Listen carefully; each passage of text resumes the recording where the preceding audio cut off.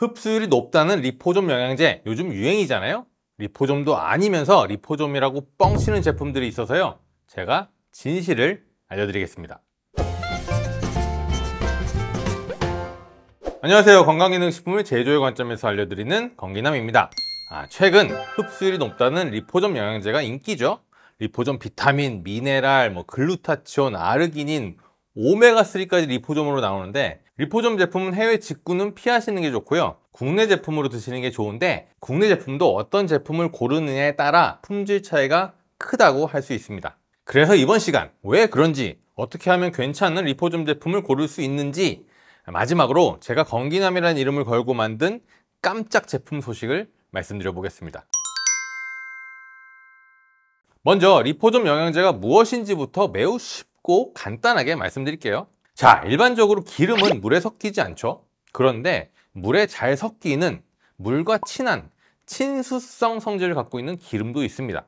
바로 인지질인데요. 그 인지질로 특정 영양 성분이나 기능 성분을 코팅한 것이 바로 리포좀 영양제가 되겠습니다. 아, 이렇게 굳이 인지질로 코팅한 이유는 영양제의 흡수율 혹은 생체 이용률을 올리기 위해서인데요. 그럼 왜 리포좀 제품은 해외 직구를 하면 안 되는지 설명드리겠습니다. 리포점 제품을 해외 직구하면 안 되는 이유는 진짜 리포점인지 아닌지를 확인할 수가 없고 실제 확인해보면 가짜 리포점이 많기 때문이에요. 우리나라는요 식약처에서 정한 리포점 제품의 품질 기준이 있습니다. 아, 제가 앞에서 리포점 영양제는 특정 영양 성분이나 기능 성분을 인지질로 코팅한 것이라고 했죠. 그 코팅이 잘 되어 있는지를 전자 현미경을 통해서 검사하고 증명해야 하는데요. 그게 바로 템 사진입니다. 많이 보셨을 거예요 이렇게 생긴 이미지들. 이게 제품을 만들기 전 원료 상태에서 사진을 찍어야 하고요. 제품을 만들고 나서 찍어야 하고요. 제품의 소비 기한이 도래할 때까지 정기적으로 계속 찍어서 코팅 상태가 유지가 되는지를 확인해야 합니다. 이게 우리나라 리포점 제품의 규정이에요. 굉장히 빡빡하죠? 그에 반해서 해외에는 리포점 영양제에 대한 규정이 아예 없고요. 그래서 해외 직구를 추천드리지 않는 것입니다. 법적 기준이 없으면 기업들은 어떻게 한다? 대강 만든다 게다가 리포점 공정은 저희 영양제 업계에서 존재하는 모든 공정 중에 굉장히 비싼 축에 속하는 공정이거든요. 그걸 제대로 안 하니까 해외 직구 리포점 제품들의 가격이 엄청나게 저렴한 것이 되겠습니다. 아, 그리고 실제로요 해외 시장에서 많이 유통되는 리포점 원료들을 샘플을 받아가지고 전자현미경으로 보면 리포점 코팅 구조가 나오지 않는 경우가 굉장히 많기도 해요. 그런 원료들 전부 짝퉁이라는 거죠. 이렇기 때문에 해외 직구를 추천드리지 않고요 리포좀에 대한 법적 기준이 있는 국내 제품을 고르시는 것이 좋겠습니다. 그런데 법적 기준이 있어도 제품을 어떻게 만드냐에 따라서 리포좀 제품의 품질이 다를 수 있어서요. 국내 리포좀 제품들도 잘 고르시는 게 좋아요.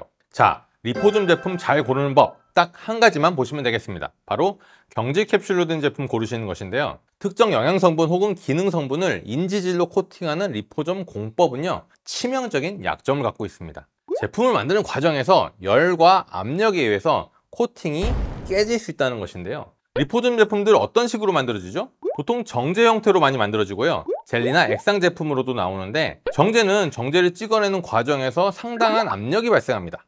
그때 리포점 코팅이 일부 깨질 수 있고 젤리나 액상 제품은 높은 온도에서 끓이거든요. 그 과정에서 리포점 코팅이 일부 혹은 꽤 많이 깨질 수 있어요 어, 그에 반해 경질 캡슐은 제조 과정에서 열과 압력이 발생하지 않아서 제조 과정에서 리포점 코팅이 손상될 확률이 제로에 가까워서요 저는 경질 캡슐로 된 리포점 제품을 가장 추천드립니다 어? 그런데 좀 이상하지 않으세요? 제가 앞에서 우리나라 제품들은 식약처의 기준에 따라 전자현미경 사진을 통해서 리포점 코팅이 잘 되어 있는지 여러 번 확인해야 한다 말씀드렸잖아요 그런데 이제 와서 정제, 젤리, 액상 제품들은 제조 과정에서 압력과 열이 발생해서 리포좀 코팅이 파괴된다. 그래서 추천하지 않는다.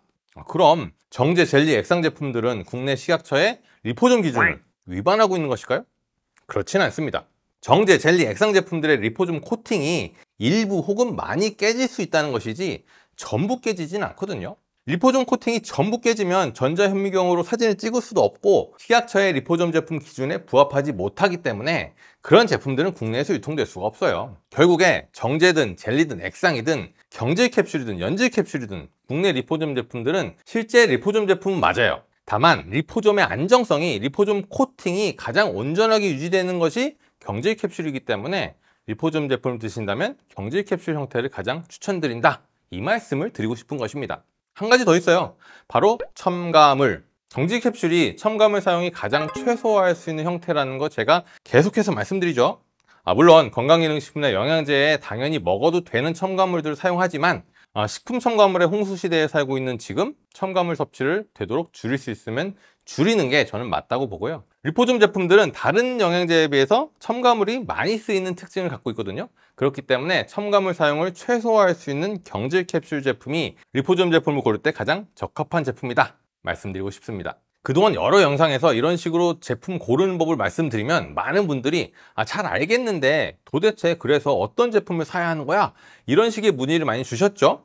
그래서 이번에는 제가 직접 제품을 만들어 버렸습니다. 드디어 건기남의 이름 석자를 내건 제품을 출시했고요. 제품명은 건기남의 리포좀 비타민C 700 경질 캡슐로 만들어진 국내 최초 리포좀 비타민C 제품이 되겠고요.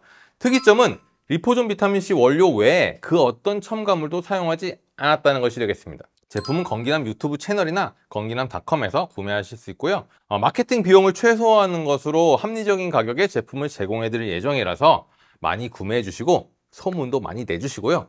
그렇게 해주셔야 다음 제품, 다다음 제품이 나올 수 있겠죠? 제가 지금까지 제품을 수십 개 만들었는데 이 제품은 아, 제가 봐도 너무 잘 만들었어요.